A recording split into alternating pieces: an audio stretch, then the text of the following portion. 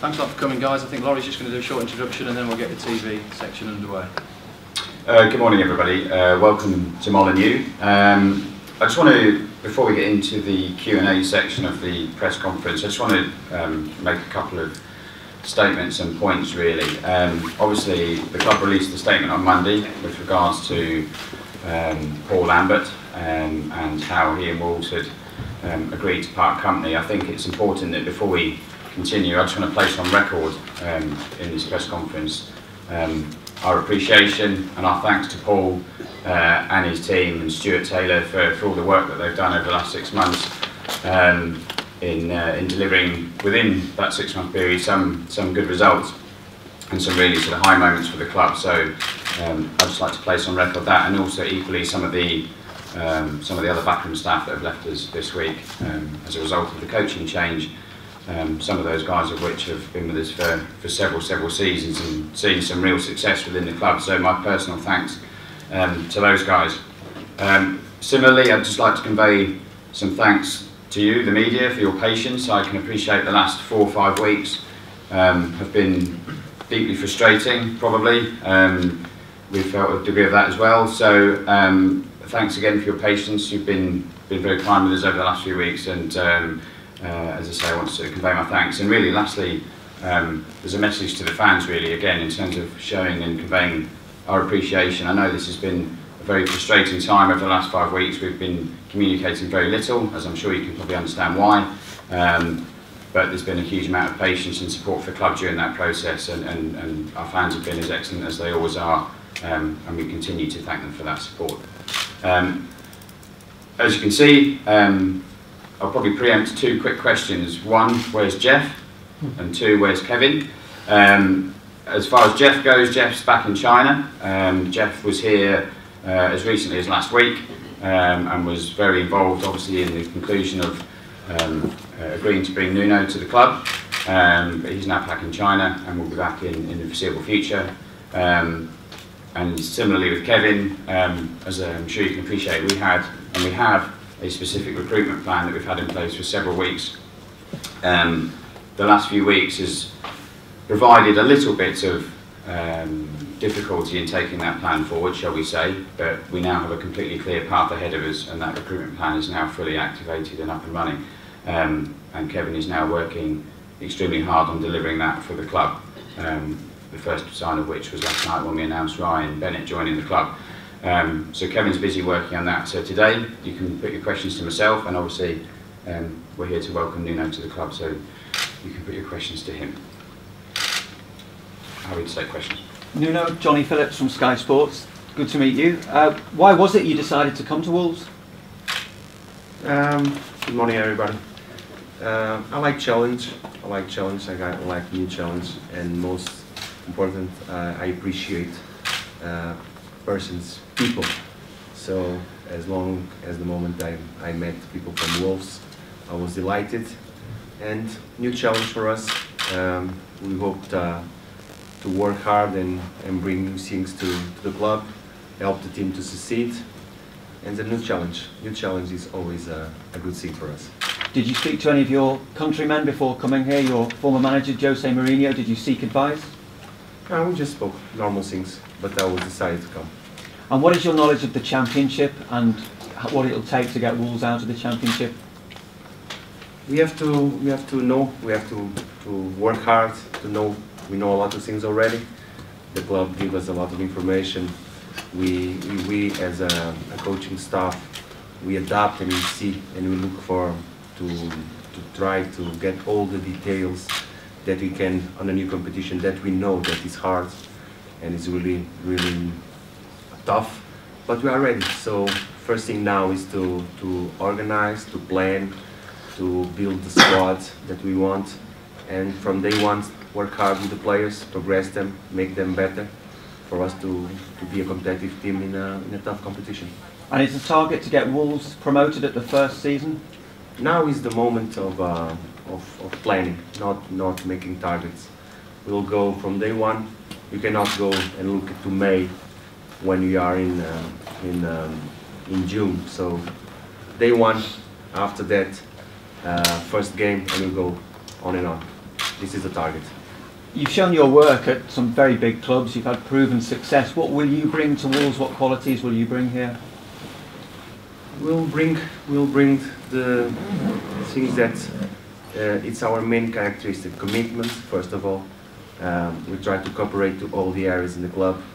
We'll try to, to make players better each day. Um, we are a, a, coaching staff that um, really looks to development of the players because we believe this is the way we develop the team.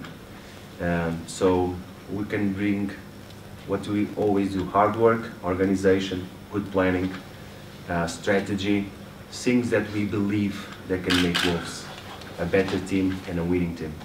And in terms of the strategy of recruitment and the players coming in, will that all be the work of George Mendes? Will he make the signings for you to then work with? No, this is the, the task of the club, like Laurie said before. Uh, we started working yesterday. Kevin now is working very hard to try and deliver the plan. This is the task of the club. And you've signed a long-term contract here, but you'll obviously be aware that Wolves have had three managers in the last year. What makes you think you can stay here longer than some of your predecessors? Nothing changes in football. You know that. It's everything about results. So uh, the demanding is high, um, but we believe at the moment that we, we sign a contract with three three years, um, the time, we believe that we have the trust and the confidence to deliver a good job. So, but always results. And the best way to achieve results is to work hard and, and be really and show show everybody that we are here to work and to make Wolves a better team. This is the, the secret of football.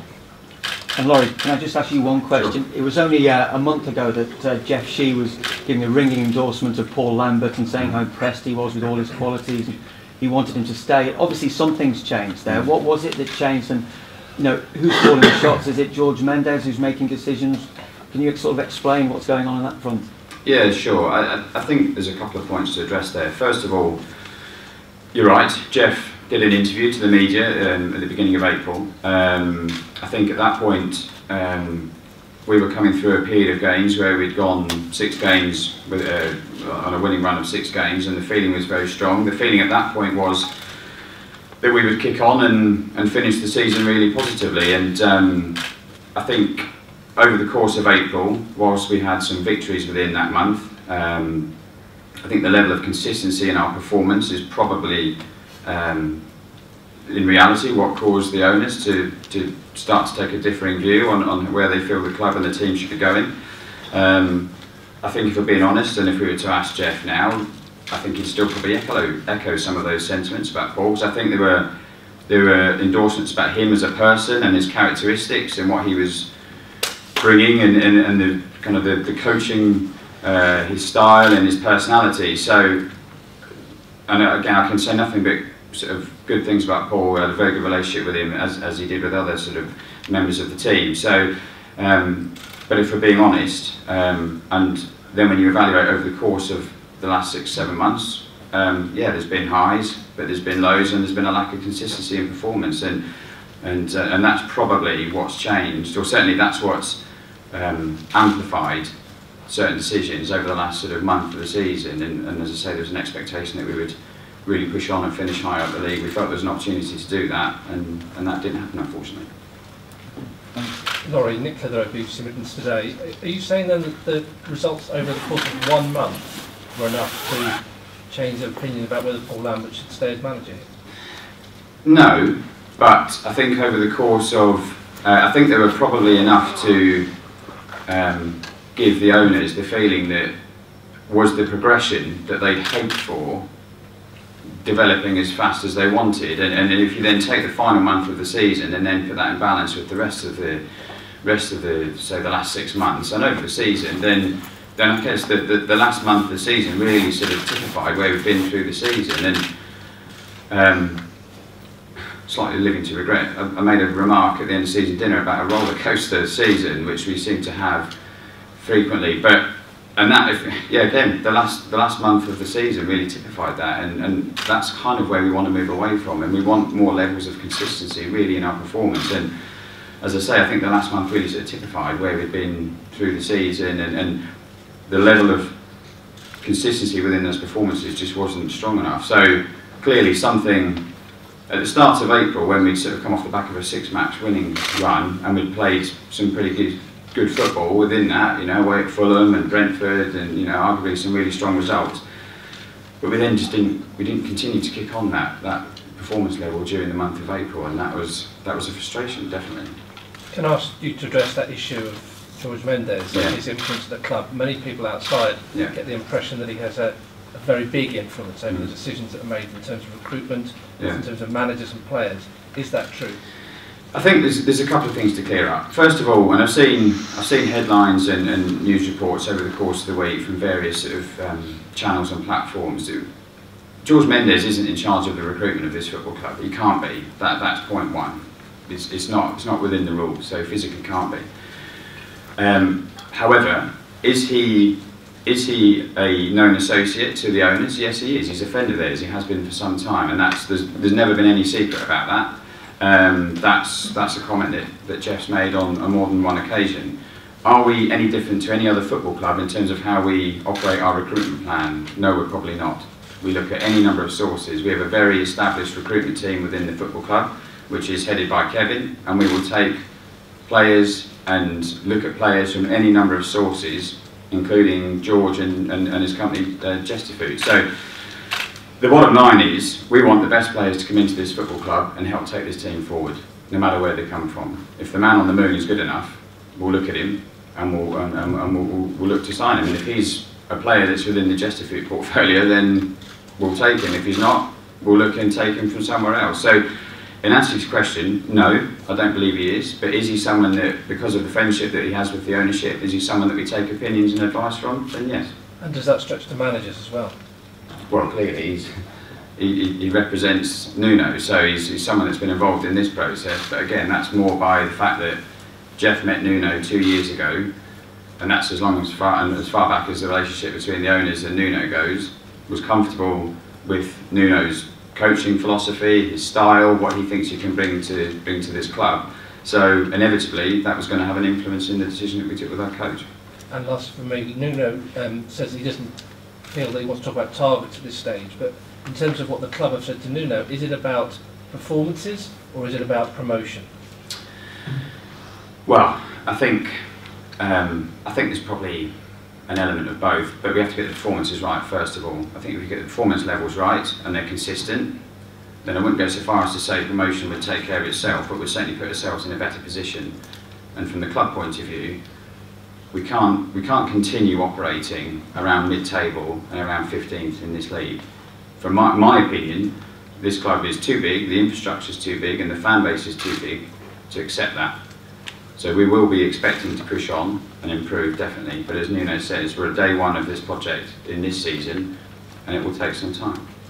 Nuno, can I ask, um, you know, how much you're looking forward? You said it's tough championship, you know that. How much you're looking forward to that challenge? I'm looking, I'm, I'm enthusiastic with it. Um, I know that he's, he's gonna, he's gonna need a little of adaptation from us. I think we can do it also with the, the help from the club, the, the analysis department, and um, this our work. Everywhere we went, we went to from Portugal to Spain to a big club.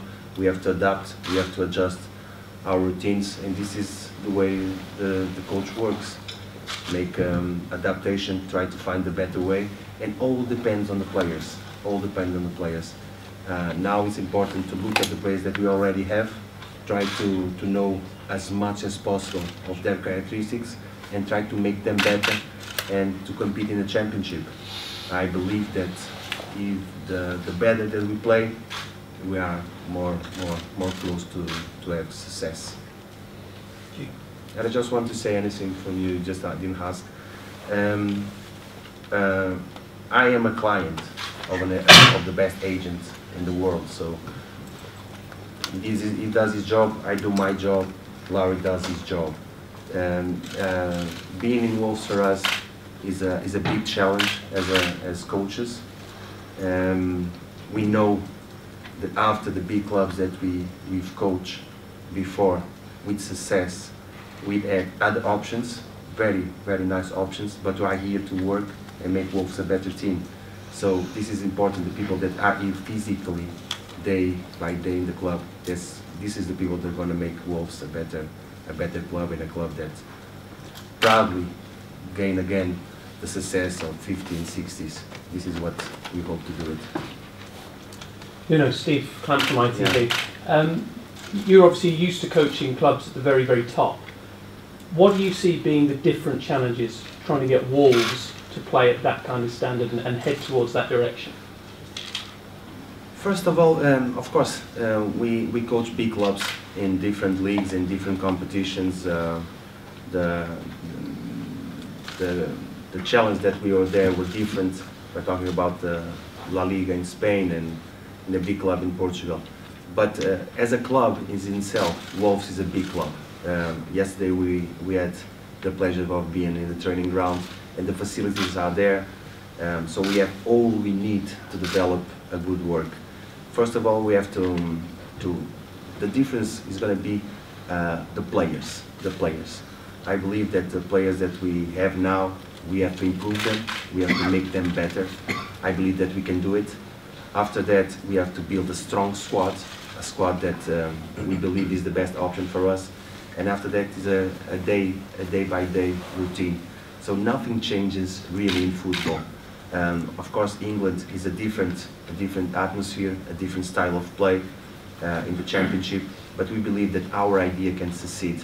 So there's nothing, there's honest, no big difference in football as long as uh, you get the right recipe. And the right recipe is a day by day work commitment and um, try to build, a, beside the strong team, a really good group of persons that are ready to give everything for the, for the shirt. Do you think it's important to have British players in the mix because, because of their experience of the leagues here?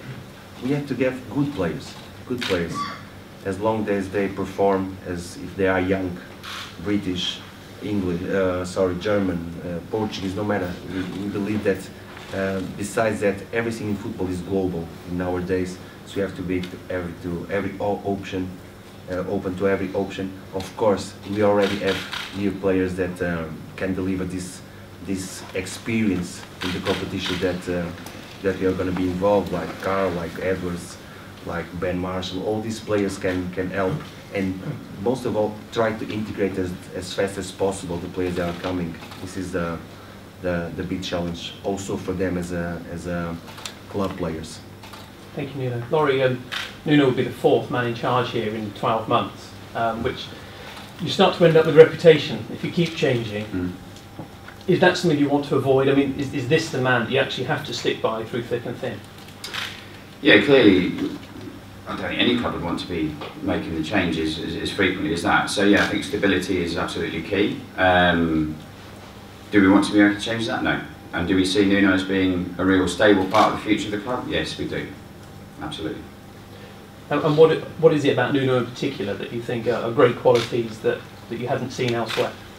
Well, I think in terms of um, Nuno's pedigree from, and he's touched on it a moment ago, and, and from, from his former clubs where he's been, um, very successful player, um, but also in terms of operating at a very high level within Spain and within Portugal, um, and then how we feel that we want to blend that level of experience and that style of play into how we want to take this team forward, we saw as being a real key critical part of, of, of the characteristics of what we were looking for.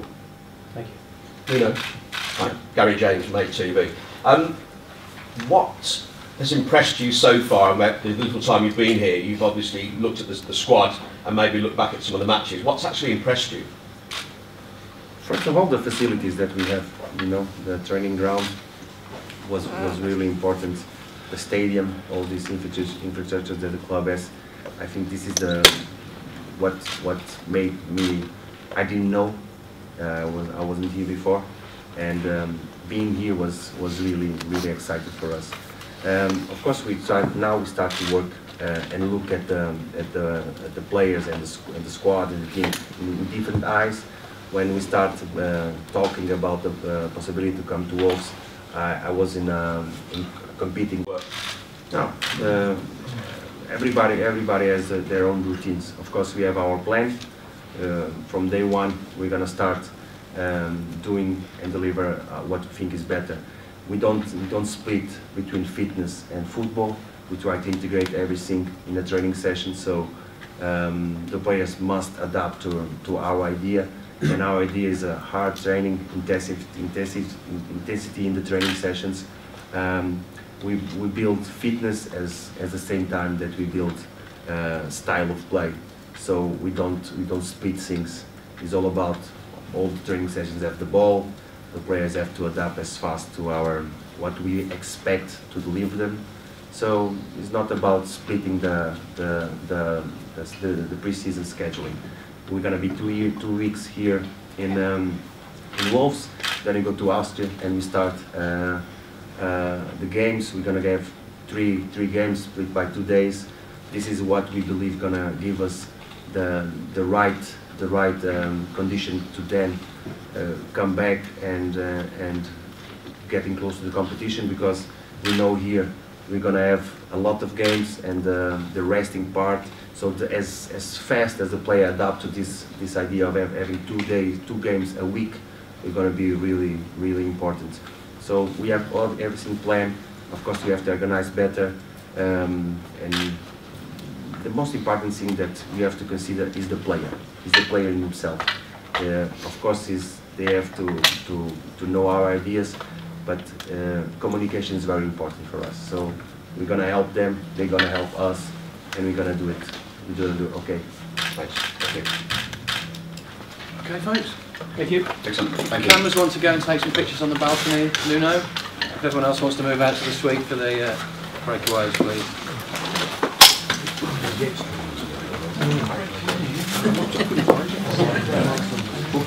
と。